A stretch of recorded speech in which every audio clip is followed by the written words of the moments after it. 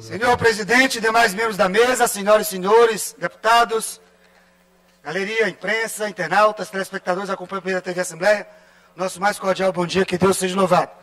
Que Deus tenha suas mãos poderosas sobre o Estado do Maranhão e sobre a sua população. Senhor presidente, eu tenho cinco assuntos para serem abordados hoje.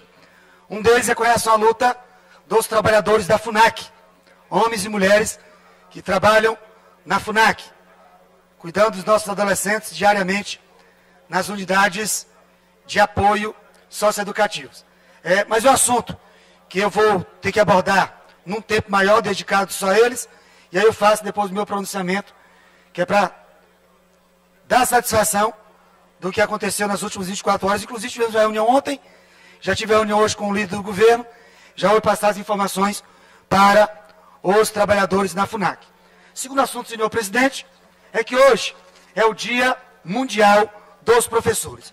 E como professor, sou professor, vou permanecer professor, vou morrer professor, até o meu último suspiro estarei na condição de professor. E aí, como professor, na Assembleia Legislativa do Estado do Maranhão, defendo a educação, defendo os professores, defendo uma, educação digna de verdade, não da propaganda mentirosa do governador Flávio Dino. E nós temos defendido a alteração da medida provisória 290 de 2019, que foi de autoria do Poder Executivo, instituindo a política estadual, escola digna. O objetivo era dar maior autonomia aos professores do Maranhão, permitindo que escolham entre si gestor para centros educacionais. Nós votamos contra, para que os professores possam votar nos diretores de escola sem ter o um apadrinhamento político. Hoje o que se observa na prática é o apadrinhamento político.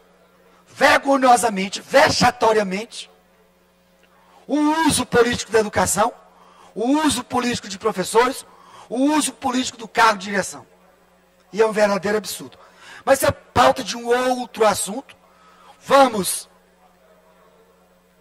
delinear, tratar a educação do Estado do Maranhão de forma mais pontual e vocês vão entender posteriormente. Falando hoje sobre o Dia Mundial dos Professores.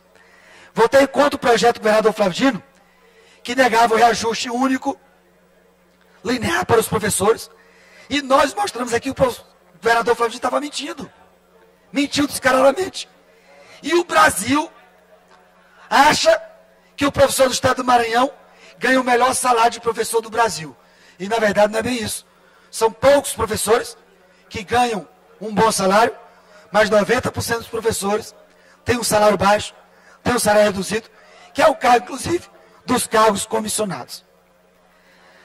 O deputado Hélio também fez o remanejamento, solicitou o remanejamento do orçamento da comunicação, da Segov, da Casa Civil, para nomeação dos aprovados em concurso, incluía também os aprovados no concurso para professor. A nossa luta pelo pagamento dos 21,7%, pagamento de precatórios e também descompressão. Lutas nossas, pautas nossas e únicas em defesa dos professores, em defesa da educação. Ontem também estive reunido com os agentes comunitários de saúde, que todo o Brasil se reuniram para lutar pela aprovação da PEC 22, uma PEC que coloca, pelo menos como base, dois salários mínimos para os agentes comunitários de saúde e agentes de endemias de todo o Brasil. Ontem um dia de pauta, de paralisação, de mobilização, e ontem receberam o meu apoio no estado do Maranhão, em São Luís, em Ribamar, em Passo do Miá, e estive pessoalmente na cidade de Raposa. E eu quero agradecer a forma carinhosa como foi recebido.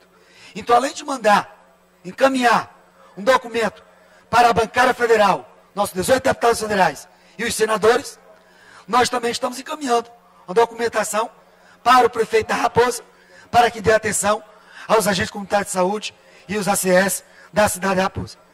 Agente comunitário de saúde, agente de EMEAS, contem, continuem contando, que essa pauta já é nossa, continue contando com o deputado Wellington do curso.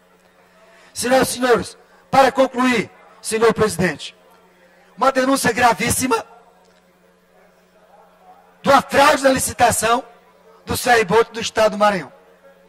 E nós estamos entrando nessa luta, solicitando documentação do governo do Estado por meio da MOB, por meio da EMAP, inclusive solicitando uma fiscalização da Comissão de Obras, a empresa que ganhou. A empresa só tem balsa, não tem nenhum ferro. Como é que a empresa ganha a licitação? Totalmente direcionada. Tem dedo de secretário, tem ideia de deputado federal, tem ideia de empresa que está se beneficiando com obras no estado do Maranhão. Nós estamos na luta contra essa fraude na licitação do ferryboat no estado do Maranhão.